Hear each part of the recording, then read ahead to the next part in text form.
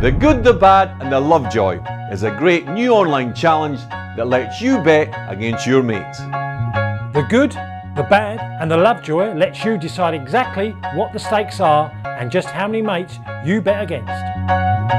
And best of all, the good, the bad and the Lovejoy lets you choose between three top-line interactive presenters to talk you through the rules of the game. You can opt for this class central defender who won 8 league titles, 2 FA Cups and 3 European Cups. Or you might prefer this award-winning author, journalist, poker legend, veteran of two World Cups and folk hero on the terraces in Britain, Ireland and France. Or for the more discerning punter, there's this genuine man of the people and fellow football fan who seeks only to spread happiness and persuade everyone in the shed end to watch Channel B. no, that's got to be worth the fun.